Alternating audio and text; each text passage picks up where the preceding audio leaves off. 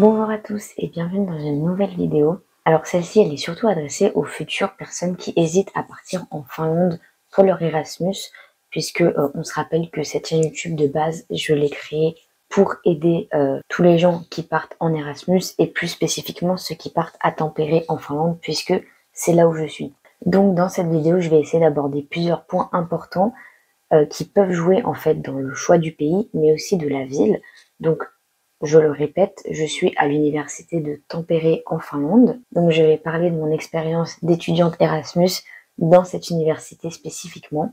Alors déjà, le premier point important à aborder, celui du transport pour aller dans le pays, puisque euh, la Finlande, on est quand même à l'autre bout de l'Europe par rapport à la France. Et en vrai, je trouve que ça reste quand même très accessible. Euh, vous avez plusieurs solutions pour aller en Finlande. Donc il faut euh, savoir qu'en Finlande, il y a plusieurs aéroports.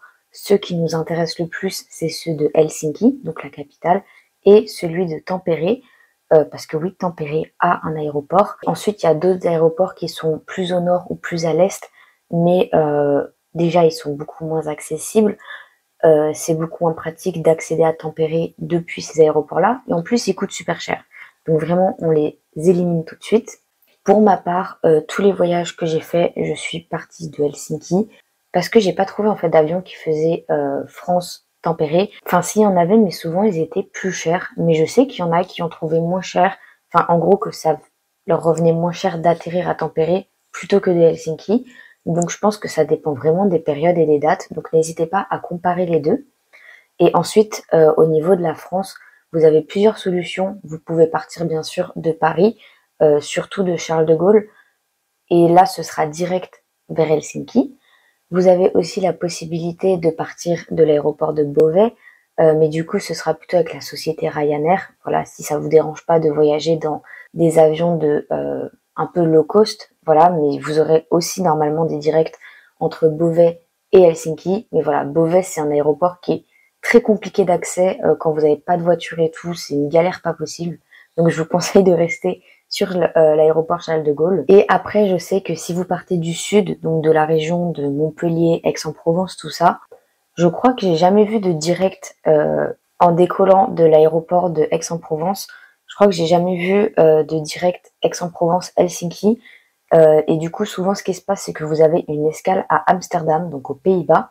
Donc vous faites Aix-en-Provence, Pays-Bas, et donc Amsterdam en fait, Amsterdam, Helsinki. Et après, si vous êtes plutôt du nord, euh, la meilleure technique pour vous, c'est soit d'aller jusqu'à Paris, soit euh, de passer par la Belgique, en fait. Puisque en gros, si vous êtes par exemple à Lille ou à Strasbourg, euh, franchement, vous prenez un Flixbus, vous allez jusqu'à Bruxelles, et de Bruxelles, Charleroi, je crois que c'est leur aéroport, vous prenez l'avion en direction de Helsinki.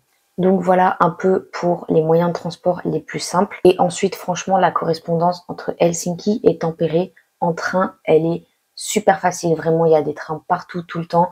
Euh, alors forcément, en fonction des horaires, les prix varient. Mais voilà, vous pouvez avoir euh, un voyage pour genre 6 euh, euros, tout comme vous pouvez avoir le voyage pour 30 euros. Voilà, c'est vraiment, ça dépend des heures de la journée. Ensuite, si vous n'aimez pas l'avion et que vous cherchez des alternatives, je sais que vous pouvez prendre le bateau, par exemple. Il y a des ferries qui font, qui partent d'Allemagne et qui vont jusqu'à Helsinki, mais c'est genre 24 heures de ferry. Vous voyez, c'est c'est un voyage qui est balèze.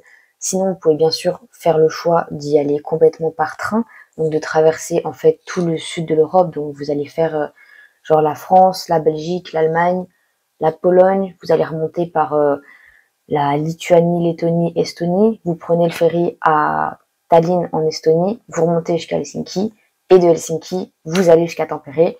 Euh, ça fait un sacré voyage aussi, je pense. Je pense aussi que ça coûte cher. Mais voilà, c'est une alternative qui est totalement possible. Par le nord, c'est plus compliqué. Euh, je crois que les voyages sont plus compliqués et coûtent encore plus cher.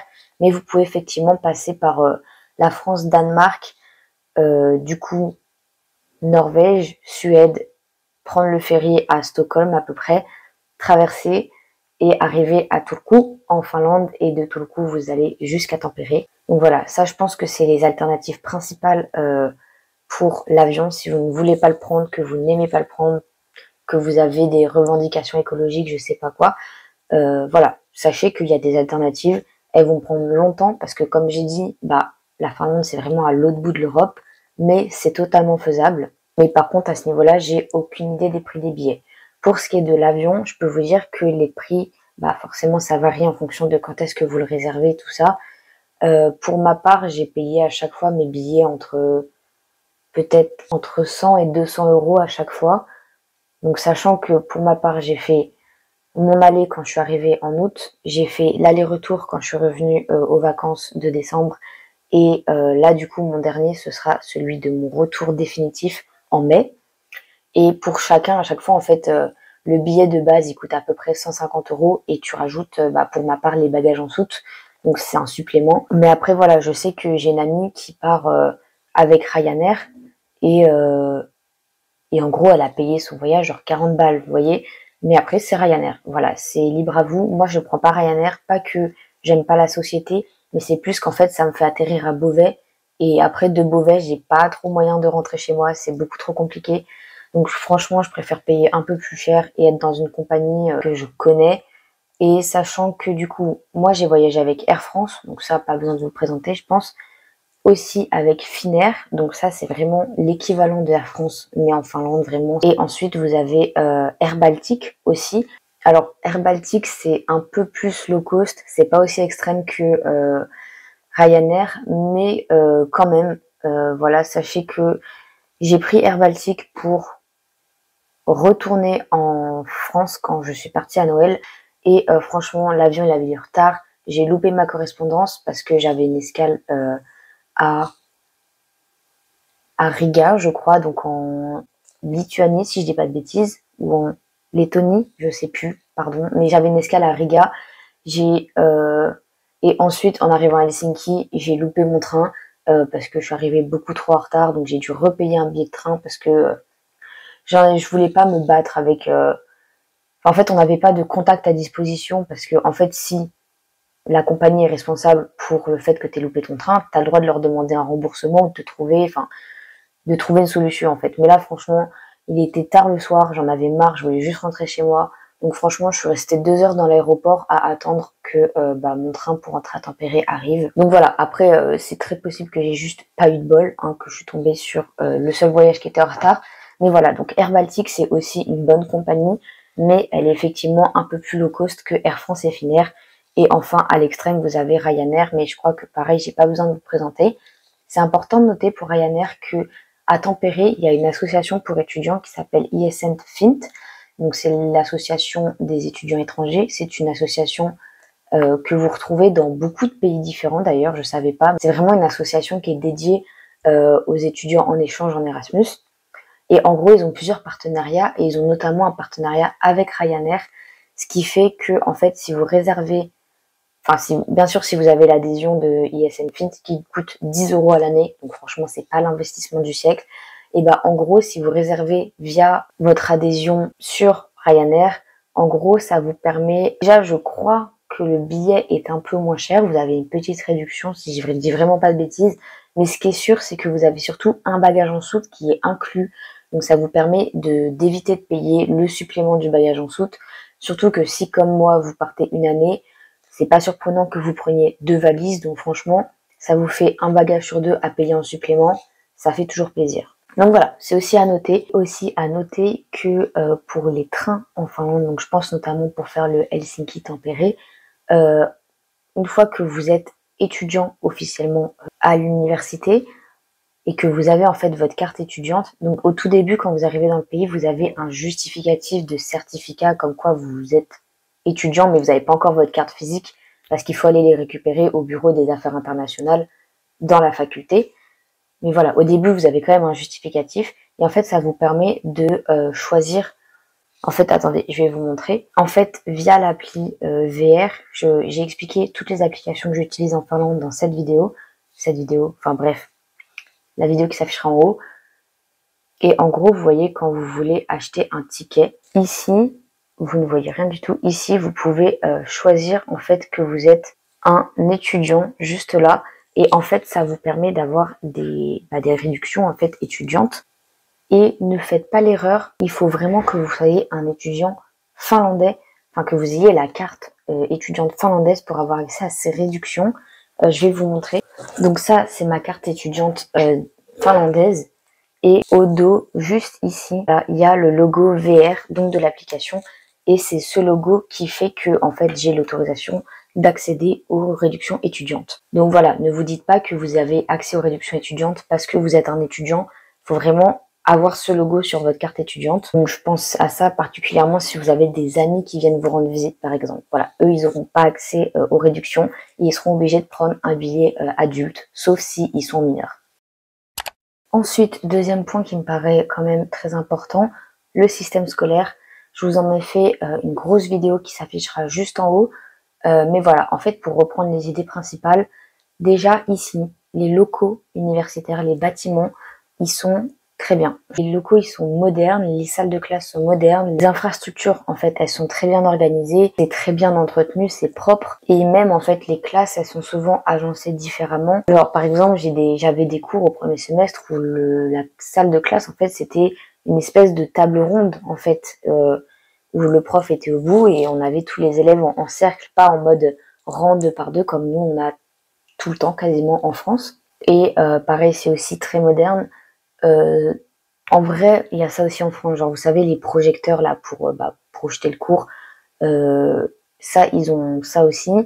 Et un peu comme en France où vous avez une espèce de NT, ici ça s'appelle Moodle et c'est le cours auquel vous aurez accès, bah, vous savez, à tous les documents que vos profs y mettent en ligne pour genre les diapos du cours, les exercices à faire, blablabla. Donc voilà, c'est quand même assez bien fait. Si je mets l'université en soi de côté, le système est différent. Euh, ça, je vous l'avais expliqué dans ma vidéo, mais donc déjà le système hiérarchique est différent, c'est-à-dire que euh, les élèves et les professeurs ont tendance à être sur le même piédestal. En fait, c'est beaucoup plus simple d'aller parler aux professeurs. Euh, même vous pouvez les appeler par leur prénom. Bon, moi, j'ai encore du mal parce que voilà, en France, on n'est pas du tout habitué à faire ça. Mais voilà, ça, rien que ça, en fait, ça change aussi l'ambiance qu'il y a dans le cours. Ensuite, au niveau des cours, je l'avais expliqué aussi dans une de mes vidéos, on a accès à beaucoup de cours, mais euh, voilà, pour moi, on a beaucoup trop de cours qui sont en independent studies, donc c'est-à-dire qu'en fait, on a des devoirs maison à faire sans forcément être encadré par un professeur.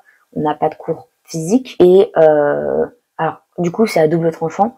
C'est super parce que ça vous permet de gérer votre propre temps, de vous organiser comme vous voulez et ça peut aussi vous permettre, par exemple, je connais quelqu'un qui euh, là, cette semaine, rentre en France, littéralement, définitivement, alors que ici l'année scolaire se termine euh, début mai, euh, parce que en fait, il n'a plus que des independent studies, donc des devoirs à rendre à distance en fait. Donc en fait, il a plus besoin de rester dans le pays. Euh, c'est son choix de partir maintenant. Personnellement, je pourrais faire la même chose, mais je préfère rester dans le pays bah, pour tout simplement en profiter mais voilà, sachez que du coup, en fait, c'est aussi possible de partir super tôt, tout simplement parce que vous n'avez plus aucun intérêt à euh, aller à la fac. En fait, vous, n'allez plus du tout à la fac. Et c'est vrai que moi, je vais à la fac encore pour manger les midis à la cantine. Mais si je n'allais pas à la cantine, j'irai plus jamais à la fac. Je n'ai plus aucun cours en présentiel. Donc voilà, ça vous permet aussi de bah du coup de voyager, tout ça, puisque bah vous êtes plus en fait euh, contraint par un emploi du temps. Mais du coup, pour ma part, c'est quelque chose que j'ai pas beaucoup aimé parce que justement, on n'est pas encadré par un prof. Tu sais pas à qui t'adresser quand tu as des questions. Et même, genre, je suis désolée, euh, c'est pas en lisant un livre que tu apprends quelque chose. Même si le livre il est intéressant, tout ça, bah, ça suffit pas en fait. Tu peux pas baser un cours entier sur un livre, c'est trop nul. Moi, franchement, j'avoue que ça me manque les TD, les CM, vraiment il y a un prof qui explique quelque chose et t'écoutes parce que là en fait lire les livres c'est bien deux secondes mais c'est long surtout quand le livre n'est pas forcément intéressant ou qu'il est compliqué. Donc voilà c'est un système qui a double tranchant et c'est quelque chose à prendre en compte. Pour rester dans le thème de l'université je vais parler deux secondes de la vie étudiante. Alors sachez que à Tempéré je crois qu'on est la première ville la plus étudiante en Finlande. Bon c'est pas trop compliqué il n'y a pas non plus 20 000 grosses villes en Finlande. Mais voilà, c'est quand même cool. Effectivement, déjà, je vous ai expliqué le concept du overall dans une vidéo qui sera là-haut. Et euh, à part ça, c'est vrai que la vie étudiante reste quand même très active. C'est-à-dire que peu importe le soir, de semaine que vous allez sortir, vous aurez forcément des bars qui sont ouverts. Je vous ferai une vidéo spécifique sur vraiment que faire à tempérer, genre en tant qu'étudiant, donc tout ce qui est les bars, les restos pas trop chers, les sorties, blablabla. Je vais vous en faire une vidéo spécifique. Mais voilà, sachez qu'il y a une vie nocturne qui est active. Il y a beaucoup de en fait qui sont organisés tout le temps. Alors moi du coup, je fais beaucoup d'événements avec ISN Fint, forcément puisque je suis membre chez eux et que cette association s'adresse directement en fait aux étudiants Erasmus ou en échange. Donc forcément, c'est euh, des événements qui sont faits en anglais, mais vous pouvez aussi participer à plein d'autres événements, mais eux qui seront par exemple en finnois. Mais je veux dire, si c'est un event en mode euh, soirée Athènes dans un bar, euh, bon bah vous n'avez pas besoin de parler finnois. Enfin c'est pas grave, tu vois, tu es juste là pour profiter de l'ambiance du bar. Donc voilà, il y a vraiment beaucoup beaucoup de d'events, il y a beaucoup de traditions qui tournent autour des étudiants. Là dans un mois on a le Vapou. Euh, j'ai pas tout compris ce que c'est. Je vous en ferai une vidéo, mais une fois que ce sera passé, pour être sûr de pas dire euh, n'importe quoi.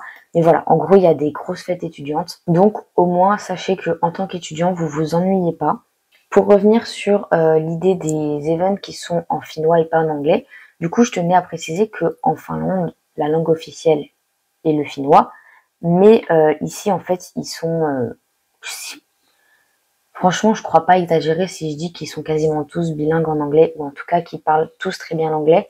Et ça, c'est surtout dû, dû, au fait qu'en fait, déjà, comme nous en France, la seconde langue qu'ils doivent apprendre pour un LVA, c'est l'anglais. Et surtout, en fait, euh, j'ai remarqué que par exemple au cinéma, y a, vous, quand tu allumes la télé chez eux, il y a les films internationaux, ils sont pas traduits. Donc en fait, souvent, ils ont le film en VO, donc en anglais, qui est ensuite sous-titré en finnois. Donc en fait, ils sont très très tôt exposés à cette langue anglaise, ce qui fait que euh, bah, si vous débarquez dans le pays sans connaître un pet du finnois, et c'était mon cas, c'est pas grave. Je vous assure que vous vous en sortirez très bien euh, avec juste l'anglais. Déjà que ce soit dans les magasins et tout, et aussi bah, au sein de la vie étudiante, puisque bah, forcément les étudiants, bah, de toute façon ça se voit maintenant, toutes les jeunes générations, elles ont tendance à beaucoup mieux parler l'anglais que bah, nos parents par exemple. Donc voilà, franchement, c'est pas quelque chose qui doit vous freiner, ce truc de la langue officielle là-bas, c'est le finnois. Je ne sais pas parler le finnois, que faire? Non, vraiment, euh, l'anglais vous suffira amplement. Ensuite, j'aimerais aborder aussi le thème de tout ce qui est nourriture, euh, parce que c'est quand même important, hein, euh, parce que pendant un an, vous allez faire vos courses et manger dans un, dans un pays qui n'a pas les mêmes traditions culinaires que ce qu'on a nous en France. Alors, outre le fait que, comme j'ai déjà expliqué, je trouve que globalement, les prix en magasin sont plus élevés, mais franchement, ça reste, je vais pas dire abordable, c'est pas vrai, mais voilà, ça reste raisonnable en fait. Vous pouvez quand même bien vous nourrir. Mais effectivement, je trouve que tout est plus cher. Et après, voilà, il faut prendre en compte qu'il y a beaucoup de choses qui sont différentes. Forcément, vous n'allez pas retrouver exactement les mêmes produits. Oui, c'est vrai, le poisson est un peu moins cher. Euh, mais par contre, les autres viandes, mais c'est une catastrophe. Je vous assure que le steak haché et la viande blanche, euh, à chaque fois que j'en ai mangé, j'ai fini malade. Euh, et c'est pas que je mange la viande en mode saignant et tout. Hein. Vraiment, je la fais bien cuire. Mais même là, c'est, je sais pas ce qui est, c'est des viandes qui sont sans goût, qui sont trop bizarres. Et du coup, en fait, ce qui fait que j'ai complètement arrêté de manger de la viande ici. Euh, parce que je sais pas ce qu'ils mettent dedans, mais en tout cas, mon corps ne le supporte pas. J'avais eu des retours d'autres personnes que je connais qui eux aussi bah, cuisinent de la viande. Et euh, en gros, pour eux, ils arrivaient à manger la viande, mais ils étaient totalement d'accord sur le fait que ça a pas du tout le même goût qu'en France et que c'est limite bah, pas de goût et c'est trop bizarre. Et euh, c'est vrai que c'est aussi un pays qui est assez végétarien slash vegan et que vous aurez beaucoup d'options, même dans les restos universitaires, genre vous aurez des options en mode vegan et végétarien très régulièrement, même dans les restaurants, tout ça beaucoup plus qu'en France, et aussi beaucoup d'options gluten-free. Euh, voilà, en fait, j'ai appris que les Finlandais, ils supportent mal le gluten. Genre, je sais pas si à l'échelle du pays, il y a beaucoup de Finlandais qui, qui ont du mal à digérer le, gluten. Du coup, vous aurez plein d'options sans gluten, souvent aux events et tout. On vous propose des gâteaux sans gluten, du lait spécifique, machin truc. Donc, c'est assez particulier sur le début. Mais euh, voilà, du coup, sachez que si vous êtes euh, allergique au gluten ou que vous le supportez pas, la Finlande est un pays fait pour vous parce que l'entièreté du pays ne supporte pas le gluten. Mais voilà, euh, tout ça pour dire que même si les produits sont différents, vous arriverez toujours à trouver quelque chose bah, de mangeable, de convenable. Euh, après, pour ma part, je l'ai déjà expliqué aussi dans la vidéo, je crois, du bilan des six mois, que euh, moi, le problème, il allait au-delà de la nourriture. C'était surtout que je n'arrivais pas à cuisiner ici parce que euh, déjà, j'ai pas beaucoup de matériel. Euh, je crois que je vous l'ai expliqué au tout début quand je suis arrivée, la première vidéo que j'ai fait en Finlande. En fait, ici, on a accès à des starting kits. Donc en fait, on a un starting kit de euh, literie euh, et un starting kit de euh, tout ce qui est vaisselle, couvert, casserole, ce qui permet qu'en fait on n'a pas à tout acheter sur place et surtout bah, que c'est trop compliqué à ramener. Donc en fait tu perds une certaine somme d'argent pour rien entre guillemets. Donc en fait dans mon starting kit pour la cuisine, on a genre euh, deux assiettes, deux verres, euh, une casserole, une poêle et euh, des cuillères quoi et des couverts. Vous allez me dire bah ça va de quoi tu te plains? Alors à ce niveau-là de rien. Je suis très contente d'avoir accès à ce genre de à ce genre d'options. C'est très pratique. Le problème, c'est la cuisine commune. Et oui, parce que déjà, outre le fait que quand je cuisine, j'aime bien être toute seule, tranquille. Franchement, quand tu cuisines, t'aimes bien prendre l'espace que tu veux, un peu t'étaler, écouter ta musique, je sais pas trop quoi. Donc ça, déjà, c'est pas possible. La cuisine commune, elle est toute petite, donc tu peux pas t'étaler. Et en plus, elle est dégueulasse. Euh, vraiment, elle est immonde. Les gens, ils respectent pas du tout euh, bah, les autres, en fait, les suivants. Ils laissent toutes leur, euh, leur, euh, ils laissent leur paquet, leurs trucs entamés, euh, leurs trucs tout dégueux sur le plan de travail. Et bah toi, derrière, t'arrives, c'est tout dégueu. Donc franchement, j'ai complètement abandonné de cuisiner. Euh, je pense que jusqu'à la fin de l'année, je vais juste vivre avec des plats préparés que je vais faire dans mon micro-ondes c'est vrai que ça coûte plus cher, mais franchement, euh, au moins ça me permet de manger des plats convenables. Que franchement, cuisiner dans les parties communes, c'était juste plus possible pour moi. Franchement, vous pouvez cuisiner dans les parties communes. Je veux dire, c'est vraiment à mon échelle personnelle, je ne supporte pas le fait que ce soit aussi sale. Je ne supporte pas euh, le fait de ne pas être toute seule tranquillou pour cuisiner. Surtout, je ne supporte pas le fait que, bah, une fois que tu as fini de cuisiner, il faut ramener tout ton matos dans ta chambre pour manger tranquille. Enfin, pour moi, c'est trop compliqué. Ça peut faire un peu superficiel pour des gens, mais voilà. Pour moi, c'est important. Et euh, je préfère sincèrement investir plus dans des plats préparés, les faire au micro et manger tranquille chez moi, plutôt que de me casser la tête avec euh, la cuisine commune, tout ça. Mais voilà, vous pouvez quand même cuisiner dans la partie commune, il y en a qui le font, mais moi je ne supporte pas euh, pour le coup ce côté très communauté, mais c'est mon avis personnel. Ensuite, si on reste dans la résidence étudiante, notez que les appartements sont petits. Hein, vous pouvez voir derrière moi que c'est pas très grand. Euh, je suis dans un 12 mètres carrés avec du coup cuisine commune, mais ma salle de bain est privée, donc ça c'est déjà cool. Mais après voilà, c'est comme au Crous en France, hein, c'est des appartements étudiants que tu payes pas très cher. Donc euh, franchement, on va pas se plaindre. Donc du coup ici vous avez des appartements étudiants qui sont à votre disposition via euh, l'organisme TOA. Et donc en vrai, ouais, c'est l'équivalent du Crous en France, avec différentes tailles d'appartements. Et euh, il y a aussi des colocations disponibles. Donc voilà, vous en avez pour tous les lieux en fonction du campus où vous êtes et euh, un peu pour tous les budgets. Parce que j'ai pas précisé, euh, et c'est important quand même, à Tempéré, on a trois campus universitaires. Le City Center Campus, donc celui où je suis, celui qui est dans le centre de la ville. le Kaupik Campus, qui est un peu plus à l'est et euh, le Ervanta Campus euh, qui est bien plus au sud, euh, mais vraiment bien plus au sud. Il est genre à une demi-heure du centre-ville. C'est possible que vous ayez des cours à Ervanta ou que vous ayez des cours à Kaupis ou que vous ayez des cours au City Center Campus. Donc vérifiez bien où est-ce que vos cours ont lieu en considérant que au campus du centre-ville, vous aurez surtout tout ce qui est linguistique, tout ce qui est sciences politiques, euh, un peu tout ce qui est économie, euh, sciences sociales en fait. Le Kaupi Campus, je crois que c'est que le côté de la médecine et euh, le Ervanta Campus, c'est plus du côté de l'ingénieur, des sciences techniques, de la technologie, de la physique, de la chimie. Donc voilà, c'est globalement ça, mais voilà, il y a, vos cours ils peuvent être un peu éparpillés. Donc c'est quelque chose à prendre en compte au moment où vous allez faire votre location à Toa.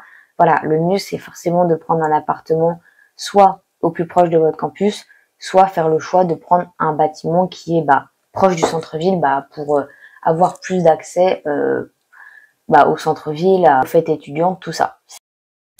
Ensuite, j'aimerais revenir sur un truc qui m'a beaucoup perturbé en Finlande, euh, c'est l'hiver. Voilà. Euh, franchement, quand vous pensez à la Finlande, vous ne pensez pas aux Caraïbes, vous voyez ce que je veux dire. On sait que la Finlande, c'est un pays où il fait froid, très froid.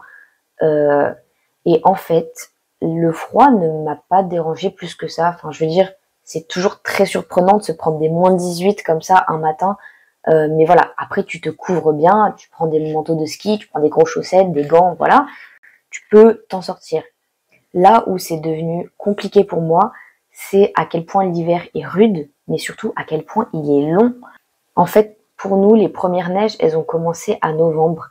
Et à partir de novembre, vous savez, le, temps de jour bah, dans une journée, il a complètement chuté.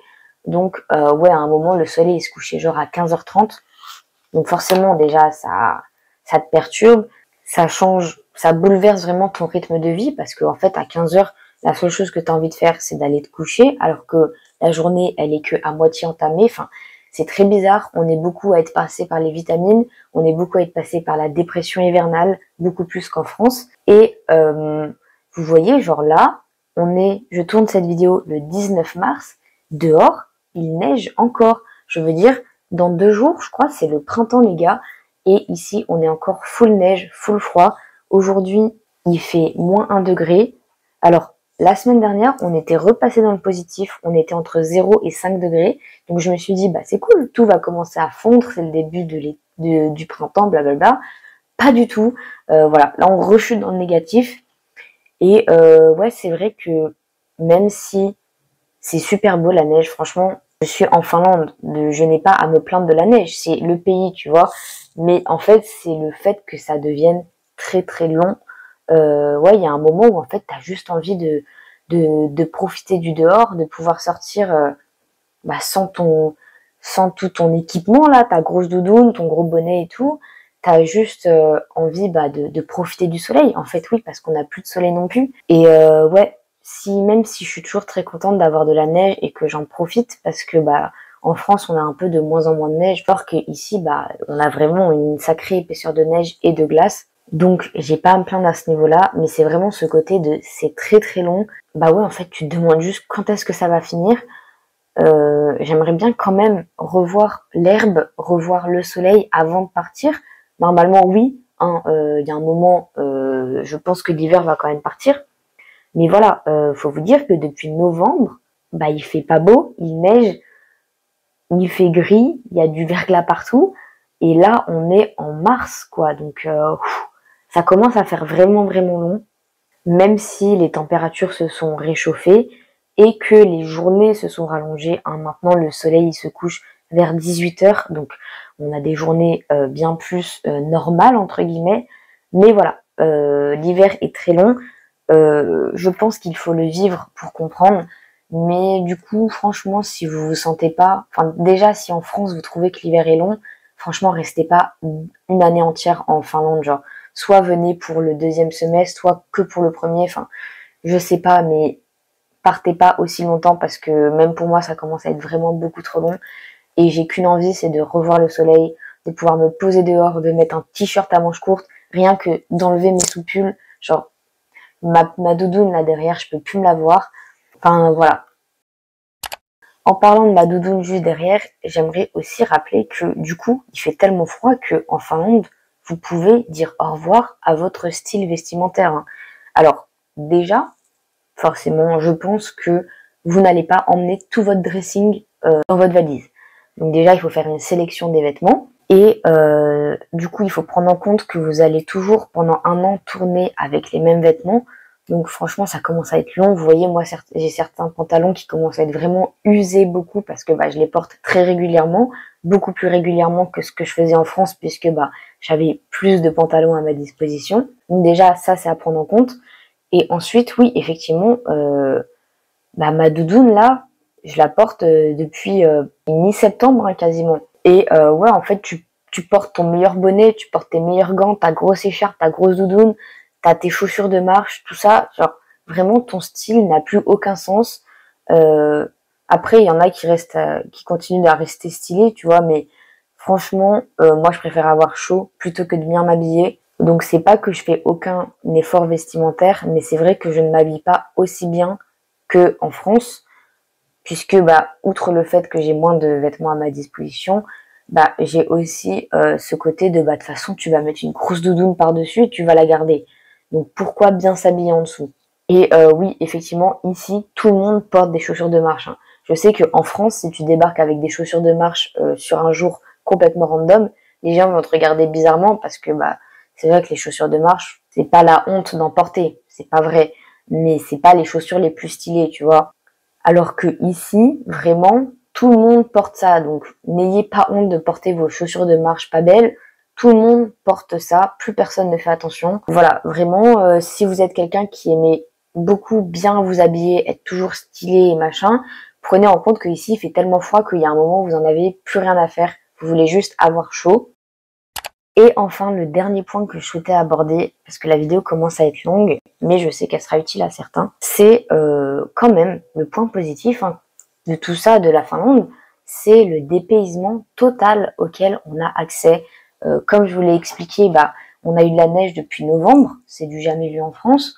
La nature, elle est splendide. Je t'invite à aller voir sur mon Instagram. J'ai posté plein de photos de quand je suis allée en cottage et tout. Et euh, ouais, en fait, au-delà du fait que la culture est différente, tout ça, bah il y a aussi toute cette découverte de la nature qui me paraît quand même hyper important. Alors c'est vrai que je trouve euh, que les villes sont moins intéressantes à visiter que celles en France, dans le sens où je trouve que l'architecture se ressemble un peu partout.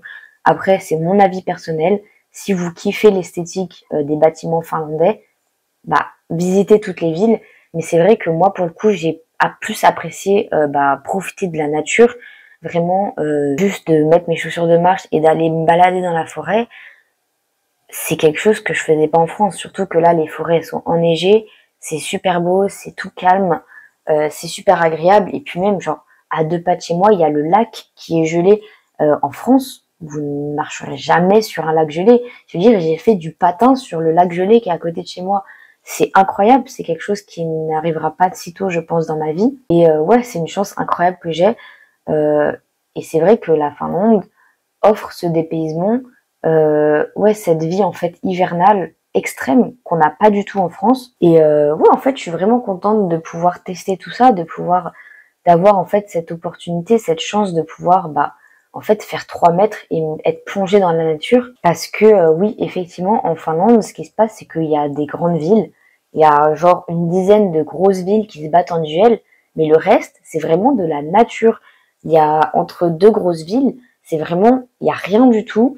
Il y a deux, trois euh, bâtiments, forcément, enfin, genre maisons qui se battent en duel, qui sont bah, dans la campagne. Mais c'est vrai que la nature est giga accessible. Alors, certes, il faut prendre une voiture souvent. Euh, c'est-à-dire que vous n'avez pas un train qui va vous emmener au milieu nulle part.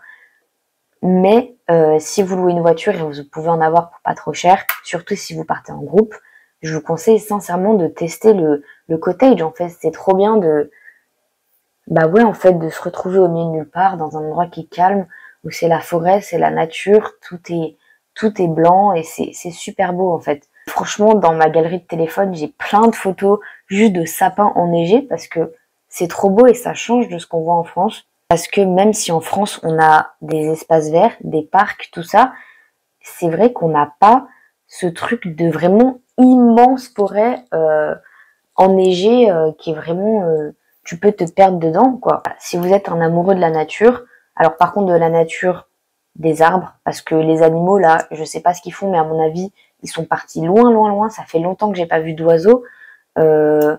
Les, autres animaux, franchement, vous les verrez pas, hein. ils sont en hibernation, je pense. Donc voilà. Mais par contre, si vous aimez effectivement les photos des paysages et tout, surtout bah, avec la neige, la Finlande, c'est un très bon choix, c'est vraiment super beau. Et il y a un autre point, je sais que j'ai dit que c'était mon dernier point, mais j'ai quand même un autre point auquel je viens de penser. Euh, simplement que je trouve que la Finlande est un pays dans lequel il est plus simple de s'accepter. Euh, je sais que là ça paraît un peu bizarre, je vais essayer de m'expliquer le plus clairement possible. En fait, vous voyez, euh, dans les pays, il y a des normes de beauté euh, qui sont très présentes. Je pense par exemple aux gros clichés des pays asiatiques où il faut être blanc, il faut être super fin, tout ça. En fait, il y a des normes de beauté qui sont plus ou moins poussées à l'extrême et qui font que parfois, même si tu t'aimes toi-même ou, enfin voilà, c'est c'est compliqué parfois de s'accepter quand en fait vous avez la pression d'une norme de beauté qui vient de la société en fait. Même si vous avez super confiance en vous, tout ça, et c'est tout ce que je vous souhaite, parfois c'est voilà, c'est un fait. C'est compliqué de s'accepter quand les autres ou les normes de la société vous rejettent. Et euh, je pense du côté physique, et je pense aussi du côté euh, on va dire, du genre et de la sexualité. C'est-à-dire que euh, la France n'est pas un pays homophobe, enfin, ou en tout cas pas aussi homophobe que certains. Que je pense que dans, comme dans tout pays, voilà, il y en a qui sont pour, il y en a qui sont contre. Euh, mais c'est vrai que j'ai remarqué que ici en Finlande, déjà, euh, quand tu vas en cours, par exemple, il y a certains profs qui te demandent si tu veux être appelé par euh, elle, ou si tu veux être appelé par il, ou si tu veux être appelé par yel, du coup, il te demande quel est ton pronom, et surtout il te demande euh, si tu veux que le prénom officiel que tu as soit celui par lequel on t'appelle. Donc c'est-à-dire que si par exemple tu veux changer de prénom, que je sais pas, il te correspond pas, ou juste que tu t'aimes pas ton prénom, je sais pas, tu peux changer. C'est jamais on a fait ça en France, je trouve. Enfin, en tout cas, j'ai jamais eu de professeurs qui ont fait ça. Et c'est pas forcément mal, mais c'est simplement que voilà, c'est ça m'a assez surprise au début. Et aussi pour la culture euh, de tout ce qui est l'acceptation de la sexualité, de l'orientation sexuelle des gens. Effectivement, je trouve qu'ici, il y a déjà il y a beaucoup de cours euh, à l'université qui sont axés autour de ça, de de l'acceptation de l'homosexualité dans les pays, des études de genre, euh, le côté philosophique, tout ça. Et surtout au sein de la société, même euh, il y a beaucoup de gens qui sont homosexuels, soit lesbiens, qui se tiennent par la main dans la rue. Et je veux dire, euh, bah, ils vivent leur best life. Je sais que dans certains pays, c'est inenvisageable de faire ça. Et même, il y a beaucoup d'événements qui sont euh, autour de, ça, en fait, qui sont autour de, la Pride, tout ça. Donc voilà. Euh, et même au-delà de ça, le côté physique, je trouve que les gens ici, ils ont l'air un peu plus libres. Déjà sur le style vestimentaire, je trouve que il y a beaucoup de de vêtements très extravagants euh, qu'on verra pas forcément en France et personne ne regarde bizarrement ces gens, vous voyez. Et euh, il y a aussi ce truc, je trouve qu'il n'y a pas de grossophobie. Euh, je sais que encore une fois, la grossophobie, elle peut être poussée à un extrême ou à un autre, et que en vrai de vrai, ce genre de débat homophobie, grossophobie, même si la société parfois y joue un rôle, c'est vrai que c'est surtout avant tout un opinion personnelle. Mais voilà, en fait, par exemple, euh, ici, il y a la culture du sauna, vous voyez, ce qui fait qu'en fait, très jeunes, les gens, ils sont habitués à se dévoiler, en fait, puisque bah, les saunas, tu peux les faire en maillot de bain ou en étant complètement nu, c'est possible. Il y a des saunas qui sont nudisme, nudistes. Et du coup, je pense que euh, effectivement, l'acceptation corporelle, elle est beaucoup moins compliquée et euh, Ouais, en fait, euh, je me souviens que quand on était allé en Finlande avec ma maman, qui elle pour le coup a du mal avec son poids, bah en fait elle était, euh, elle était émerveillée par les femmes en fait qui sortaient, euh, genre qui faisaient, je sais pas, du du XL, du triple XL, vous voyez, enfin qui étaient, en, je pense en cas d'obésité, sans que ce soit méchant. Il y a un moment où dire que quelqu'un est obèse, c'est juste un, une caractéristique physique. un moment quand tu regardes la courbe de ta taille par rapport à la courbe de ton poids, bah il y a un certain niveau où en fait tu es juste considéré en obésité. C'est pas, je trouve pas que c'est quelque chose de négatif de dire à quelqu'un qu'il est obèse. C'est comme si vous me disiez que je suis brune. Vous voyez, c'est un fait. Voilà. Euh, donc voilà, sachez que j'utilise le terme obèse sans que ce soit péjoratif. Donc voilà, elle a vu des femmes qui étaient obèses et euh, qui étaient en maillot de bain et qui vivaient leur best life. Et euh, bon, moi, ça m'a pas surpris plus que ça, mais c'est vrai que elle, qui a du mal avec sa propre image, en fait, avec son poids, avec son corps, et bah c'est vrai qu'elle était waouh, vraiment, genre elle était en admiration devant ces femmes qui arrivaient à s'assumer pleinement. Donc voilà, je trouve que euh, oui, effectivement, je trouve que la Finlande est un pays dans lequel il est plus simple de s'accepter en tant que personne, soit euh, sur le point de vue physique, soit du point de vue d'orientation sexuelle. Je trouve effectivement que c'est un pays qui est un peu plus ouvert sur la question, même si franchement je trouve que ça dépend plus des personnes individuellement que vraiment quelque chose à l'échelle du pays.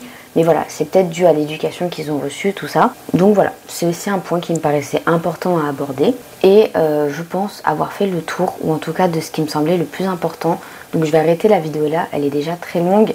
Mais voilà, j'espère qu'elle vous aura intéressé. Si vous avez d'autres questions euh, sur l'Erasmus en Finlande, euh, n'hésitez vraiment pas à poser en, commentaire. Il n'y a pas de questions bêtes parce que je sais que quand je suis partie, je me suis posé 25 000 questions.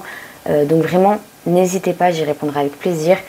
Et surtout, n'hésitez pas non plus à liker la vidéo, à vous abonner pour me suivre dans la suite de mes aventures finlandaises. N'hésite pas aussi à aller voir mes anciennes vidéos pour voir si j'ai pas déjà répondu à des questions que tu pourrais te poser. Et sur ce, je vous fais de gros bisous et je vous dis à la prochaine vidéo.